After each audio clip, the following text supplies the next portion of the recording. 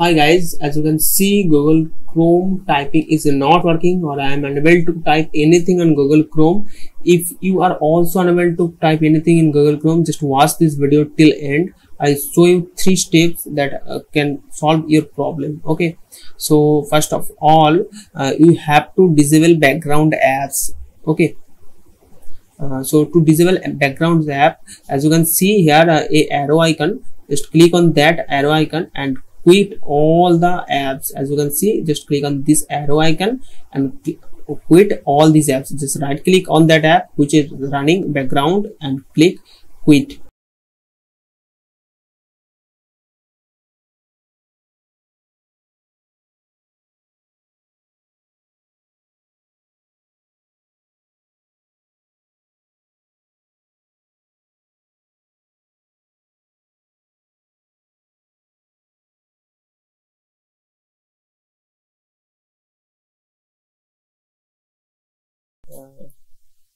now after doing this uh, search for task manager on your operating system and windows operating system. Just uh, click on the search icon and uh, search for task manager and open task manager.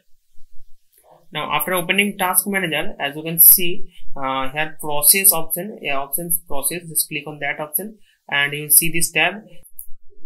So guys as you can see this tab uh, just uh, don't uh, quit this uh, don't don't uh, click on end task on these apps because uh, these are the background these are the windows apps don't end task on these apps. Just click that app as you can see which you not opening but it's showing in your background. You're not opening before as you can see i just opened three to four apps but too many apps are showing in background process. And just click on that app and click on end task okay after doing all this uh, process you have to lastly check for uh, windows uh, uh sorry google chrome updated or not. To check that I just open google chrome and click on setting. And after clicking setting okay as you can see uh, here under extension as you can see uh, under extension about option just click on about chrome. And as you can see google chrome is 100 fully updated and uh, just after doing all this just quit google chrome just click this cut button and reopen google chrome. Okay after doing all this process as you can see it's working now. If i type anything it's showing in task uh, sorry it's showing in the, this uh, called search bar as you can see. So guys if this video is helpful give a like to this video